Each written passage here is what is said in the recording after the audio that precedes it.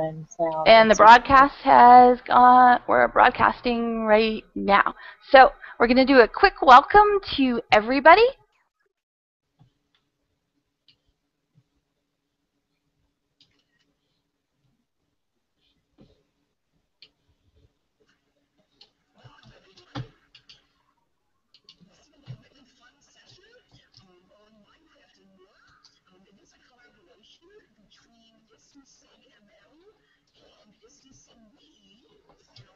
Yes.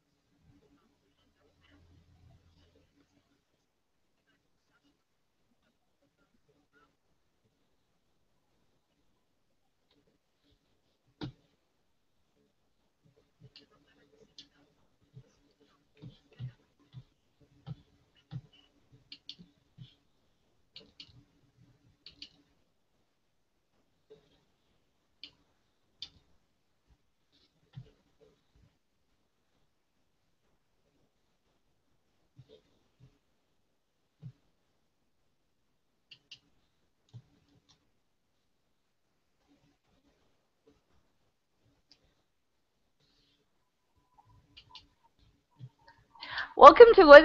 Hello, everybody. Welcome to what's going to be our first collaboration between SIGML, SIGVE, and ISTE. And so what we're doing today is we are definitely going transmedia. So while we're doing this in Second Life, we'll also be broadcasting over Google Hangout, and we'll be having a lot of fun with that.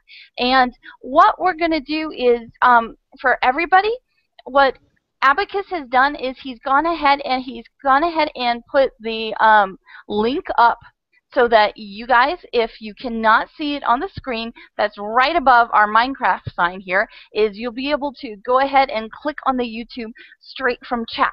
And what, what we're doing is, since we're doing that live broadcast, we're going to actually be doing the screen share over YouTube Hangout. So everybody, if you'd either go to that link, or if you'll watch and you'll go ahead and watch on the screen, that's what we're going to do. So we're going to go ahead and get started. So go ahead and everybody start clicking. So we're doing mobile, Minecraft, and more. And Mobile Minecraft and More is brought to you, like we said, it's a great collaboration between ISTE SIGML, the Virginia Society for Technology and Education, and yay, and thank you so much for VSTE, because that's exactly where we are today. Today we are at on VSTE Island in Second Life doing this. And then also SIGVE, and that is SIG Virtual Environments, and this is all part of ISTE. And the person who organized this all and got this together is Laura Briggs, and she's the person who just did the introduction in Second Life. So we have to send a big thank you to Laura Briggs. Yes! And the people in Second Life are applauding. Thank you. Phenomenal. she she definitely deserves that. And now I'm going to tell you just a teensy bit about the people who you're going to hear talking today. Now, the people you're going to hear talking today, me, um, myself, Kae Novak, Mellody Collier, and she's bringing some special guests, and then also Trish Cloud. So the thing about it is the reason we put our, our Twitter accounts up there is right after this is done, and we have to get off in time because exactly uh, we have exactly 57 minutes, and YouTube is going down for maintenance. So we're going to talk as fast as we possibly can. And and I would say do not worry about this because we can come back and we can do this a second time. This will not be the only time that you'll see us. This is actually part of part of a series that SIGML, SIGVE, and VSTE will be doing on mobile, Minecraft, and more. So, what I'd like to do is tell you a little bit about the real people who will be speaking. And those people are Mellody Collier and Trish and Trish Cloud. Well, they are part of an educators guild, and this educators guild does gaming. And we're just showing you a quick little blow up um, from. We're showing you a quick little blow up here, and this is straight from um, this land in Minecraft. And hopefully we will have the 10 and 12 year old architects of this land who will come and speak in just a little bit. So without further ado, we're going to turn this over to Mellody Collier and hopefully Mousy Moose and Giraffe 619 and get them talking about really Minecraft on mobile devices because that's really the focus of our set of our session today. We're we're all about Minecraft, but what we really want to talk about is mobile in Minecraft. So I'm going to mute my mic so Mellody can come in and start talking to us. Good evening, ladies and gentlemen. And yes, I am joined by Mousy Moose and Giraffe619. Ladies, would you like to say hello? Hello. Hi. So we all got together and we thought that there were things that you should know about Minecraft and survival craft. And the girls helped in designing the slides and they also have some great advice that they would like to give you as well. So let the play begin. Next slide, please.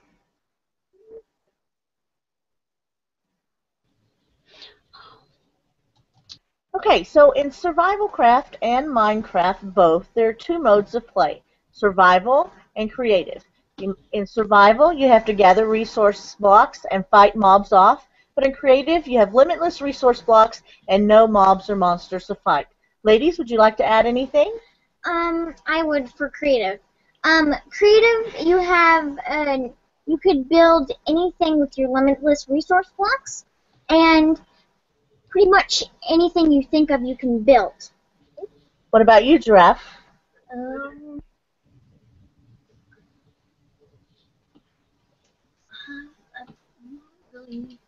okay, so nothing from Giraffe. Uh, next one. So movement in Minecraft is a little different. If you've been a gamer and you've played games before, you're used to using the arrow keys on your uh, computer, on your keypad. Well, that's similar to movement in um, mobile Minecraft on the iPad. Uh, in Minecraft, you use your directional buttons to move around the landscape. Jumping is your middle button. Uh, your left button, of course, moves, moves you left. Your right button moves you right. The top button moves you forwards, and the bottom button moves you backwards. Now, you can fly, but only in creative mode, and you have to hold down the jump and the forward button to go up. Ladies, anything you want to add? Uh, and and whenever you're flying in creative mode, uh, to stop flying, you hit the middle button twice, and to go down, uh, you hold the jump button and the backwards button at the same time. Okay. Next slide, please. Do we have any questions so far? No? Okay, we'll keep going. Um, movement in survival craft is a little different uh, than it is in uh, mobile Minecraft. However, you can set it up so that you do have directional buttons. Uh, in survival craft, you use the touchpad bottom left and right on the iPad screen to navigate and to turn or adjust your camera view. So you tap the bottom left side once to jump uh, in for creative, and that'll enable you to fly because you can also fly in survival craft in creative mode.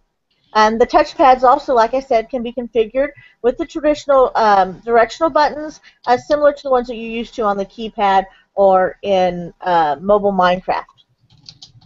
Ladies, anything to add? Um, I actually would love to add something. Okay, in Survival Craft, it's just a teeny bit different than mobile Minecraft because the reason why it's a tiny bit different is you can there are different kinds of animals in it and you can also like the thing to fly is a button. It you can't um you can't tap the thing twice to to fly.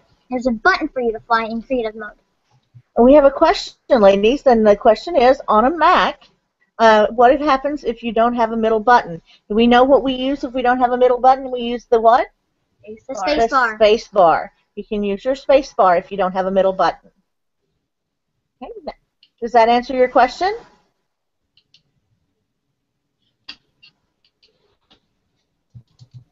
Uh, in mobile Minecraft, the buttons actually are on the screen. They're on the iPad. Um, the girls play, uh, we have two iPads, and they play together uh, on the iPad. They do multiplayer uh, for mobile Minecraft. Survival Craft doesn't have multiplayer yet, but uh, there has been some indication that in upcoming patches uh, that that will be included in Survival Craft as well. But uh, we play on the iPad. But if you're playing on your computer and you're playing Minecraft, and you're playing on a Mac, you would use your spacebar.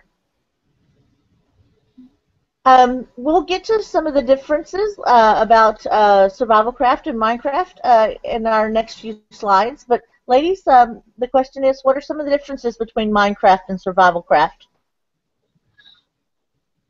In in survival craft in Minecraft, there are different ores you can get. In Minecraft, there's redstone ore and gold and diamond and all that. And in survival craft, there's a whole lot more. There's like there's emeralds and there's basalt and there's and bedrock and there's all kinds of stuff you can get in survival craft that you couldn't in Minecraft. Okay, so play is similar. It's just your resources uh, and um, the textures and basically, um, excuse me. Oh, I'm sorry. Um, the lady said the textures and the look of the screen and things are, are different in um, Survival Craft. Next slide, please.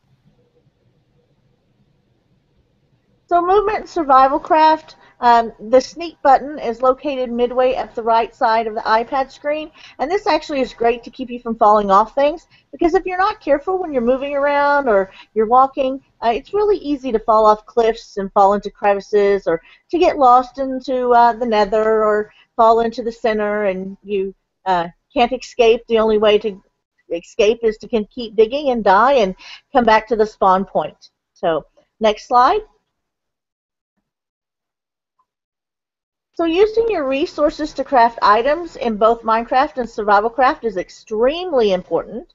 Um, the first thing you have to do in both games is make a crafting table and a furnace in which to smelt ore. Um, and with these two items and the resources available, the possibilities are endless. Ladies, would you like to add something? Um, I would. Well, the uh, the crafting is very different for them because in Minecraft for a diamond sword you just need one stick and two diamonds. For a diamond machete in Survival Craft you need an iron machete with two diamonds. And it's very it's very hard to craft in Survival Craft and Minecraft. So the crafting in Survival Craft is harder than it is in Minecraft. Yes. Uh, at first, whenever we started playing Survival Craft, uh, we looked everywhere trying to figure out how to craft things, and it turns out all you need to do is to uh, hold down the item you wish to use to craft something like she was saying uh, a diamond machete. You would need to hold down the stack of diamonds that you have until there's a, a thin red border around it. And then you just tap wherever you want those diamonds to go, and you can just pull it out and put it in your inventory. Next slide, please. And here are some screenshots from their iPads uh, showing you what it looks like uh, in your inventory. Uh, in your chest, we have some wooden blocks, we have some uh, diamond swords, and we have some uh, pickaxes and some ore. And then over here, uh, this is your crafting. Um, what do you call that, ladies? Um, Oh, crafting table. This is where you'd make a crafting table. So this is your uh, where you would craft things. You make uh, your crafting table. You can make armor. You can make uh, tools, implements, and it'll let you know what you need and how to make it. So next screen.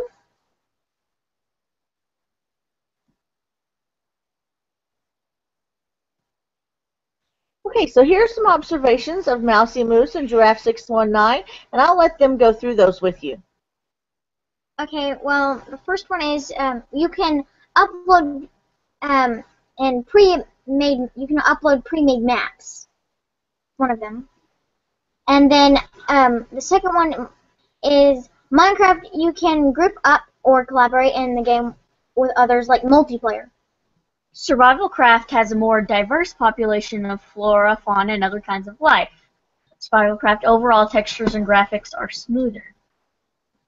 So would you say that you spend more time in Minecraft or more time in Survival Craft, or kind of a mixture of both? Minecraft for me, definitely. Well, I I would spend more time with both. And why do you why do you spend more time with both? Because um, I like the textures of Survival Craft, and I like the I like the bright colors of Minecraft. Okay. Next slide. Now these are my observations as a parent who is also an educator. Watching my girls play um, in both games, Minecraft and Survival Craft, I've seen them collaborate uh, in ways that um, is unbelievable. Uh, I, the things that they've come up with have thoroughly astounded me, uh, and, and I've been amazed at their creativity and um, just their thinking outside the box. Their patience, um, I've noticed that they're not only more patient uh, when trying to complete tasks, but also more patient with people around them uh, and other people that they have to work with. Perseverance, um, the perseverance, they don't give up. They may fail, or it may be wrong, or they may have to go back and redo it, but they don't get mad. Um, they do it. They keep going. They um, they persevere through uh, a lot of obstacles. Their vocabulary, as uh, I'm sure you've heard, uh, for their ages is uh, large, and um, it continues to grow by uh, day. Uh, their knowledge base of the game and things around them has grown and increased. Their understanding of technology, um, their willingness to try new things, and their compassion and understanding for others. These are all things that they need to be successful adults uh, in the real world. These are things that are, are going to make them viable for any job in life. And um, these are the things, just a few of the things that I, as a parent, have noticed uh, with their gameplay. Next slide. And here we have Mousy Moose and Giraffe 619 both playing Minecraft and playing Survival Craft. Ladies, would you like to make any closing remarks? Um, yes. Well, Well, Minecraft and Survival Craft may be different in a lot of ways, but they both can be used for the same thing, and they're you know it's a per- they're both perfect games for children and adults of all ages, and you know it's something everybody can have fun with. Okay, we have another question, ladies, and they're asking about uh, whether Pocket Edition Minecraft is iOS and Android. We have uh, the iOS version uh, for um, Minecraft. Um, is it on the Android, ladies? Do you know? um, I'm not for sure, it, it can come on the iPod. But that's an iOS. Ah. Um, and yes, actually, the girls uh, do get to use Minecraft uh, in school, uh, especially this year. Uh, Giraffe 619 will be at our middle school, and they're implementing Minecraft EDU. And uh, one of her classes that she has for um, with uh, Miss Florence is one of the seventh grade teachers. Uh, she does a Minecraft uh, class in which they build and collaborate and research, and then go back and build um, It is on. Their um, what they've researched in um Minecraft. And uh, Giraffe six one nine says that yes, it is also available on Android. So they're available on Android and iOS. Okay, Mellody, Mousy Moose, and Giraffe. I cannot thank you enough. and and I'm just realizing, you know, how how we're how we're making this so short. I'm sure we want to bring you guys back at some other time at some collaboration or something else like that. Um, what I'd like to do now is I'd like you as I'd like to um, quickly what we're going to be doing is we're going to now be switching over to Trish Cloud. And, and Trish Cloud is, um, I sometimes call her the iPad lady she'll talk about more what she does with Minecraft and mobile. Um, Trish Cloud has really at least for us, has really been uh, an, an inspiration when it comes to mobile and Minecraft. So I am going to turn it over to her, and I'm going to mute myself. Okay, hello everybody. It's nice to be here. Thank you for asking me to come. Um, next slide. Um, what I'm going to talk about is what I did was I was fortunate enough a couple years ago that our PTA purchased two carts of iPads. So I had 60 iPads. And what I did was I started a Minecraft club because I'm in a large school district and we had to I had to introduce it. And so what I did was last year I started a club and the spots filled up in 2 days. I had 60 students on iPads and mobile Minecraft and I had 30 on the desktop version. By the end of the year, I was running 70 to 80 students on Mondays after school playing Minecraft. This year, I've only got 30 desktops. I just found out that I may have access to iPads and to have Minecraft on, but my club filled up in three hours. So it is highly popular. I work in a K5 environment, and one of the things that I'll talk about is how well mobile Minecraft is and what a great tool it is with the younger elementary group. Next slide. What we did is we did use Minecraft EDU and it is a modded version of Minecraft that really works well in the school system because the teacher has a lot of controls. Um, Chris, go ahead and slide to the next one. It's about half the cost of regular Minecraft, and the students, you can set up and run a server off a computer so that you can have three, four, five, or ten kids all in the same server in the same game and it just gives the teacher a lot of control. You can have some kids on survival and some on creative, and it just is a modded version, and that's what we've used so far. Um, next slide. But the big thing that got us started was Minecraft PE. And there is two versions of the Pocket Edition of Minecraft. There is a free version and there is a paid version. Next slide. The free version is a good version to start out with if it's something that you're just wanting to see if it'll work in your environment because it only um, you can do everything just about that you can do on the paid version except you can't save your worlds. In the paid version, you can save worlds and you can have multiple worlds. And one of the best pluses for Pocket Edition Minecraft is it's only $6.99 in the App Store. For those of you who are running mini iPads and you might be using the configurator, you can push all the apps through to your iPads through the configurator. However, Minecraft does not qualify for the volume discount. One thing I have discovered is that younger students are more comfortable with this version.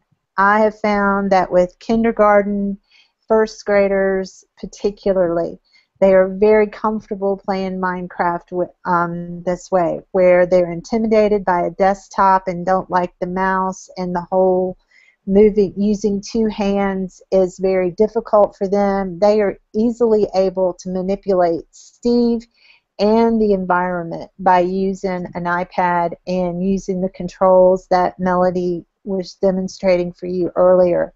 Um, they are more adventuresome um, I noticed that when I put younger students on a desktop, they seem to be more hesitant to venture out and do things where we put them on an iPad, they were just everywhere. So for younger students, the PE version is really, really good. And another thing you get with the PE version is you don't run into port issues. In larger school districts, sometimes they don't want to allow certain things through the filters or through the ports. And this is not an issue when you're playing um, the Pocket Edition of Minecraft. Next slide. This is a really cool thing that um, a friend of mine showed me. Her son got this math problem. And as you can see, it says the pattern of buildings is made with blocks. Building 1 is made from one block and building 2. And he had to build on out on how many blocks are needed for this building in building 10. Now switch to the next slide this is how he solved the problem and turned it into his teacher. He did it in Minecraft. And each one of those little signs that you see is what the problem would be solved answering each of the teacher's questions. This is a really good example of how Minecraft can be used in a manipulative way for math to demonstrate knowledge and and communicating what they need to communicate. Yes, I would say, it, and it is mouse intimidation. um, what we run into, particularly with kindergartners and um, and first graders, is mouse intimidation because they set it down and they see this thing moving on the screen and it's I think there's a, a disconnect between what the hand is doing and what the eyes are seeing whereas if they're touching the screen they have immediate response and they know that the movement is matching what their hand is doing and this is one of the tougher things of teaching kindergartners in technology is getting them past the fear of the mice and that's that's that's really that's really funny to hear, Trish. And I know you've talked about it before, but with so many mobile devices uh, being around, they're more used to mobile devices, right? Yes. Than they are used to desktops. Exactly. And you come into our school, and little brothers and sisters will be sitting there with mom's iPhone or mobile device, and it's just going away doing whatever on it. Two-year-olds, three-year-olds they have no problem with touch screens and devices, but you set a kindergartner down in front of a computer and frequently it's almost bigger than they are. So not only do they have this big screen staring down at them, then there's this whole keyboard with all these strange letters and numbers on it, and then there's this thing they have to move with their hand and for the younger kids, PE Minecraft is ideal. Um, next slide. This is a picture of a first grader from last year, and he is holding um, his house that he built in Minecraft, and he has, there is a picture that he made in there, and it's just one of the many things that he created, but this is probably one of the better Minecraft players in the school. That he's a first grader, but he does it really well with an iPad. Next slide. If any of you would like to look and see how we got it started, um, I've put the link to the wiki that we created when we started our Minecraft clubs and how we use Pocket Edition Minecraft and there's a whole lot of seeds and information about Pocket Edition in that wiki if any of you would like to look at it. And I think there may be one more. Nope. That's it then okay, But then um, basically, I did I did want to ask you because you talked about this a little bit, and we'll have we'll have Tanya and Chris start eh, taking typing in any questions so that we can handle those questions from from Second Life. But the thing that we did want to ask you is. Minecraft snuck into your school through mobile devices, didn't it? Yes. And um, that was how um, I had a principal who was not averse to trying new things. Mm-hmm. And when we got the iPads, it was I said, let's do this. And he said, sure. And I showed him how well that it worked. And he saw the popularity of it and saw the educational value in it. And we, as I worked with it more, I started finding ways that it aligned with Common Core. And that got more buy in from teachers.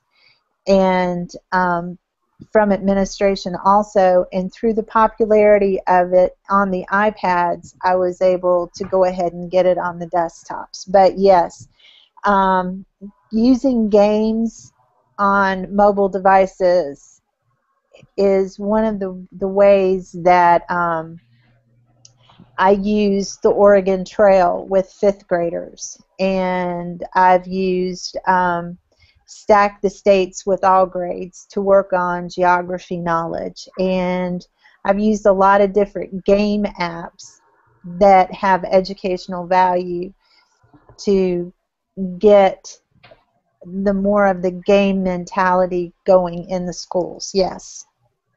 Okay, and we do have some more questions. Tanya's letting us know that the question is, does your class serve as an elective, club, or supplement to curriculum? Um, we are still considered an after-school club. Um, if you wanted to use, if we wanted to use um, Minecraft as part of supplementing something I was teaching in technology or um, team teaching with one of the core teachers, yes, we could do that. But as far as the time that the kids spend just on Minecraft, it is an after school club.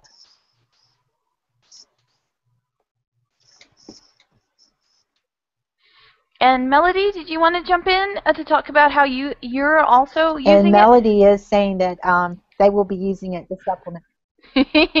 Yes, uh, we're going to be using it to supplement uh, curriculum at the middle school, and we'll be working it down to the elementary. Uh, we are getting our we're a year behind uh, Cloud, and so we're getting our servers. We just purchased uh, Minecraft EDU. Um, we do have one teacher who currently uses it on the iPad to uh, supplement in her curriculum, and that would be at the middle school in the seventh grade. But um, the rest of the school will be uh, getting up and going on Minecraft EDU, and we'll be using it to supplement. It'll be during class time that the students will be using it. And um, now this is a question. It isn't specific to mobile, but uh, you're being asked: Are the servers in the cloud or behind your firewall? With mobile Minecraft, um, with well, with Minecraft on the, the iPads, um, they you know they work through Wi-Fi. Um, now Minecraft EDU, you have options. You can rent a server, or you can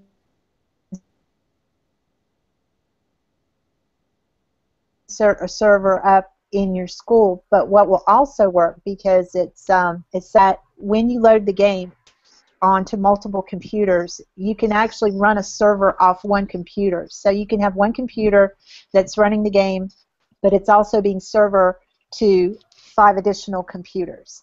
Um, um, there's you- not a really a problem with firewalls as long as you're keeping it local. Okay, and then Grid has some more questions, and questions for Mellody. What curriculum area is Minecraft being used in at your school, or will it be used in at your school? Uh, we're currently using it in science and social studies and math. We're also, um, I know in seventh grade, she does a writing component as well. So they have to write about, they have to do research, write about what they've researched, and then build it in Minecraft. Uh, but she's using that in conjunction with, uh, like I said, science, social studies, and math. And um, what we had, um, I was going to say, what we had, Trish, is they're asking about the wiki address. So if you can put the wiki address just even here with us in Google Hangout, we'll we'll cut and paste it into Second Okay. Lunch so that we can get it for some people. Um, in our school, um, what I did with the um, after. And you, you just broke up a little bit, Cloud. keep a writing component going is what I did with the um, Minecraft Club. I had grades K through five, and with them, I would have I created a wiki called Messages, um, a blog called Messages from the Mine, and That's what they cute. what they were supposed to do is they could blog on the on the on the blog about what they were doing in the club, or they could um, do something like um, leave signs in the world they were creating, and they had to type things there about telling me what they were doing in their world. So they had to keep something going about what was going on in their world or what they were trying to create or just the, the story that went with what was going on in their world. And um, now um, Grit, Tanya's asking, what kind of professional development did you provide for the teachers who are using Minecraft in the curriculum? Is that for me? I think that's for both of you guys, and then I'll chime in at the end. okay.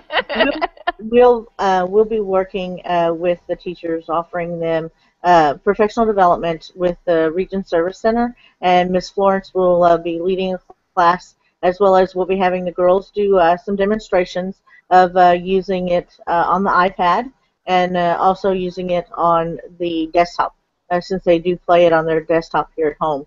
Um, so we'll be um, doing demonstrations. Basically, it's uh, getting them in and uh, showing them uh, what to do and how much fun it is. And um, also, there are some um, uh, Minecraft lessons available. Um, I know through Marianne Malmstrom and uh, Lucas Gillespie um, that uh, are available in the Wound Schools website for those teachers. And so we'll be pulling some of that information as well. And Trish? How about Um, you? Pretty much with us, um, the teachers would come and they would hang out at the club and Mhm. watch what was going on and see if they got any ideas from that, or they would ask me questions about it. Um, most of them, um, gaming is an entirely new animal to the majority of the teachers at my school. So they're um, they kind of view me with a with a, a, humor a- like, with with a benign eye of humor because they think that I'm I'm kind of amusing, but um, they'd see the passion and the engagement that I that the kids get when they see that me when they see what's going on when you Mhm. just say the word Minecraft. And so they know that there's something there for them to tap into. And so it is more of um, them coming to me and saying, okay, how can I use this or how, what can I do with this? Okay, and and then here's my plug. And Laura, I'd say you jump in with ideas if, if you feel like it at the end. Um, we're doing it through. We're doing Minecraft through SIGVE this year. we're having monthly office hours um, to basically discuss Minecraft, so once a month, and then we're doing an open house on a shared Minecraft server. So that's how we're doing prof- professional development, and this is um, and this is SIGV and this is SIGV for SIGVE. And then what I'd like to show you real quickly is um, our Educators Guild, Inevitable Betrayal, which translates to to be Inevitable Instructors. um, basically, what they're doing is they're going ahead and um, we're helping write up about Minecraft. Um, we contracted with Mousy Moose and Giraffe 619 to build to basically build our site. And so that out, even outside school districts and things like that there are some that there's some professional minecraft development that's happening. And like i said we're doing it with SIGVE and also um, inevitable instructors. So just so i wanted to let you guys know about that. Now Laura, did you want to jump in with any ideas or thoughts that you've been having?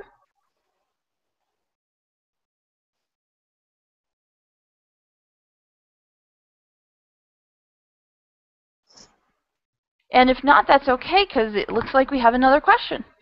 And the question is, are there plans to extend Minecraft to the regular school day? And the question's for Trish. Um, right now, I don't, as far as it being um, the way that I use it now as a school club is where there's like a Minecraft class, no. But um, as I'm working with, particularly with fifth grade, I'm introducing 3D Game Lab into fifth grade.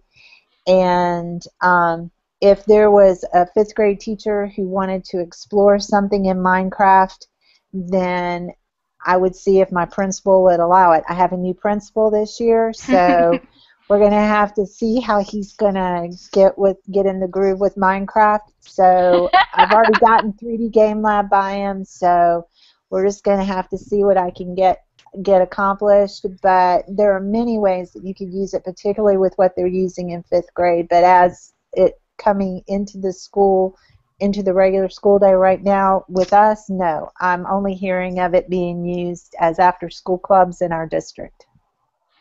And Tanya is asking, any plans to work across state lines on this project? And this question's for both Trish and Mellody. Well, our principle is very much about um, being more global. And mm-hmm. so um, I'd like that could be could be something that would be really cool is if we could connect two schools together and do something like that. But oh yeah. But you know, it would just be finding the school who was of the similar mindset and the right age because I've got elementary and other people are doing middle and so and and Tanya suggested Minecraft pen pals. But yeah, I can see this being so much better than Skype. Okay. Actually, we uh, we last year um, we do with our advanced academic classes we do um, a video uh, conferencing. Um, it's a competition actually uh, here in the state of Texas, and um, lots of groups uh, participate. Uh, they create a video broadcast and then they share it around the world with uh, other elementaries or middle schools of similar demographics. Um, last year we broadcast to Scotland and Pennsylvania and um, North Carolina. Uh, so yeah, we're we would be open to doing anything. Uh, we love collaboration. And what question we have now is what advice can you give someone just starting out, and what are the greatest challenges? Um, I can I'll start out because I can speak from the, the low man on the totem pole kind of, but Mellody's more administrator. She just says do it, and they do it. oh, you don't know what admin administration life is then. no, I'm only teasing. Go ahead, Trish. But um, first thing you need to do, I, you know, I could tell just because last year my daughter was a fifth grader, and I knew how popular Minecraft was.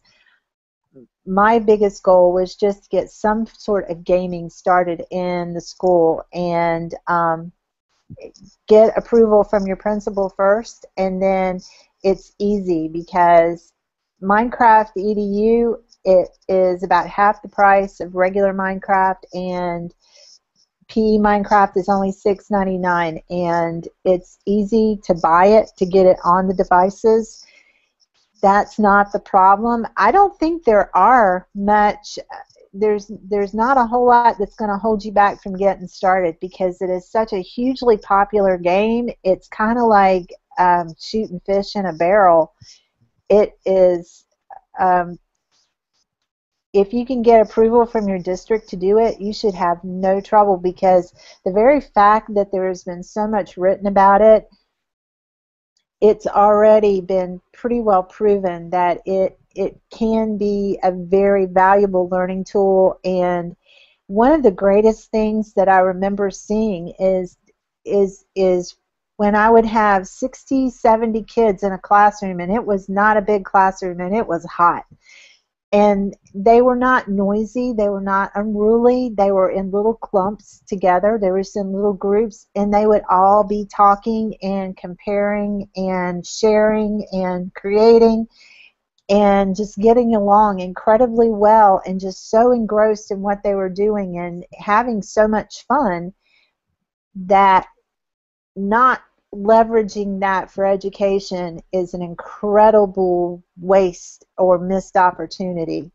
So, um, the, and I honestly, the biggest challenge I have, and the one I'm having right now, is appeasing unhappy parents when I don't have enough space for their child. oh gosh.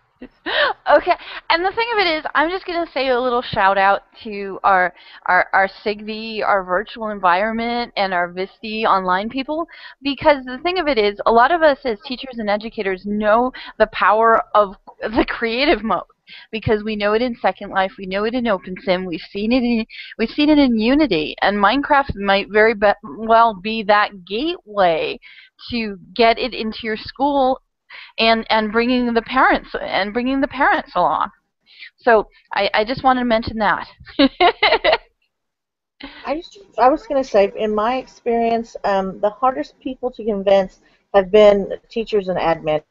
Uh, getting teachers Yeah. to buy in to something that uh, one they're not familiar with, or two makes them slightly uncomfortable, um, has really been the hardest. And then um, admin, even uh, admin who uh, don't game or participate, um, they're afraid of you know doing something that you know um, others might see as um, out of the box or you know kind of out there or um, eh, that those to me have been the hardest. Parents are not. Parents instantly are oh I want my child in that. Oh I you know my child loves that or you know they instantly buy in uh, for something that uh, is going to benefit their child and their child enjoys. And then the question was um, if you use uh, the mobile, do you have to buy a regular account? Um, you have to have a, uh, an account uh, to be able to use the the mobile, right? No, No, The, no. the multiplayer realm, multiplayer realms you do, which isn't working. which is not working currently on the. So yeah. And I mean, Yeah. because I know, because I've I've seen um, just just getting together the professional development is that if people don't want to buy accounts, but they have I, if they, if they don't want to buy accounts, I can get them on a desktop. I can get teachers on a desktop, but it's single it's single player, and and then they you know they just basically are are making are making their world. But even that, I mean, for me, showing teachers that is something. right. And um, as far as bandwidth goes, um, I've never experienced any problems with that. And um, you know, if you're on Minecraft EDU, we're done. We're we're doing that through. We're um, hardwired in to the internet with the desktops. But as far as the um, iPads go, we've never had any issues with um, not get, gaining connectivity or um, with um, yeah And you can use. The, I was just to say you can use the Pocket Edition without having uh, a an account on hmm the desktop. yes Yes. That's right. possible. You can, you don't have to have a desktop uh, subscription to be able to do the Pocket Edition. That was So one of the questions. Yeah. So you can slowly immerse into Minecraft. Yes, you can. yes and, and, um, ma- And Oh, what ahead. happened? What happened at our school is that we had many, many, many kids. I don't know how popular I was with parents at the end of the year or not now, but we had many, many kids who had never played desktop Minecraft. And by the end of the school year, they had all moved from the iPads to the desktops and experienced the desktop Minecraft. And that was the biggest want off everybody's list as they were leaving the club last spring was mom we've got to buy the desktop version. Mom i've got to have the desktop version. So um, i don't know how popular i was with parents then but yeah that's then they it's like the desktop the the pocket edition gets their feet wet but then they really want to get into the real meat of minecraft which is the desktop version. Okay, guys, we're going to start wrapping it up now. Um, I just, I just have to ask you one quick question. Um, what do you guys do when a a five-year-old, a six-year-old, or an eight-year-old comes up to you and says, um, "Let me see your Minecraft world"? well, you better have something on hand. Yep, Or exactly. You better hand him that iPad. well, yeah, that that's the thing that I, I'd like to especially push out to all of our people who are who are already doing virtual environments. It is very much show me what you've built already. I'd like to see what you've built because because I know um, teachers where I am bring their kids over to to have me talk to them or as they're passing by my office and stuff like that and that and that's like the question that I continually get. Okay, we're going to be wrapping it up now because we just want to make sure that this renders in time. So what we'd like to do is we'd like to thank again ISTE, SIGML, VSTE, SIGVE who have who made this collaboration. And this mobile Minecraft and more, this is only our first series. We are planning on, on doing four of them throughout 2013, 2014. And just a quick plug, SIGVE will be having its next open house in Minecraft on the Minecraft server, on our Minecraft server on September 28th. And we are planning having a big Minecraft and more online event on December 6th and 7th. And that'll be on the Minecraft server and also through Google Hangouts. And that's it. So, um, we'd like to thank everyone, and we're ending now just so this can get rendered before YouTube goes, goes down tonight. So thank you everyone very much. We are doing a tweet chat with SIGML right after this, and um, so we're going to end this broadcast and say goodbye. So thank you everyone. Thank you, thank you Giraffe619, Mousy Moose, Mellody, Trish, um, Tanya Martin and Chris Lukes for handling the production, and especially Laura Briggs, who's it was her idea this whole thing, and she worked so hard to get it together. So thank you guys very much. Bye. Thank you. Thanks.